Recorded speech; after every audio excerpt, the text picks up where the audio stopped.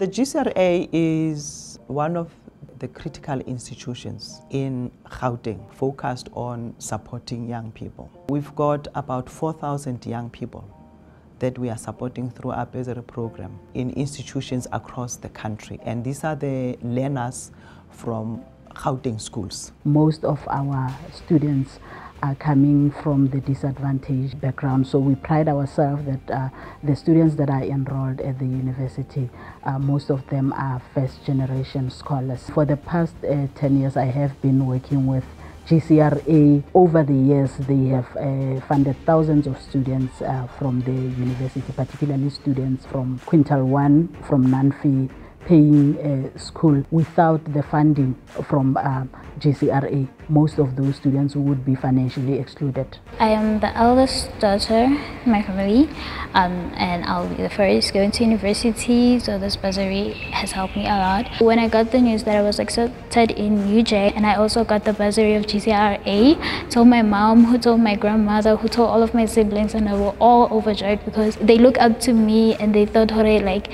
I'm opening doors, you know, they could do the same. My life has changed a lot because I'm used to being at home, you know, the parents and people taking care of me.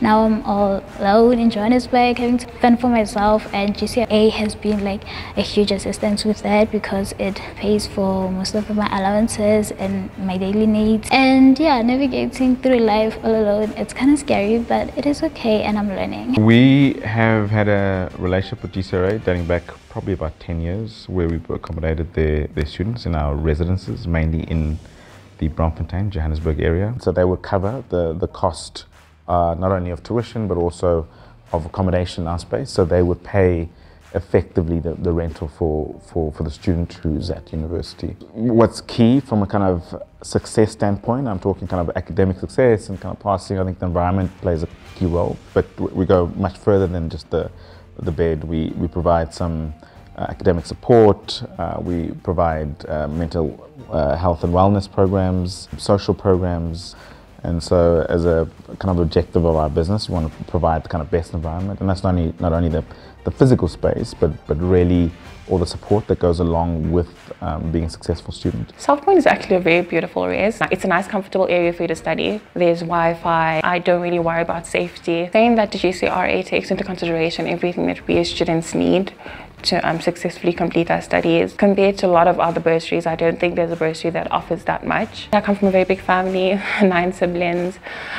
So um, my dad has been work working very hard to put us all through school. It, it obviously hasn't been easy and I've seen that.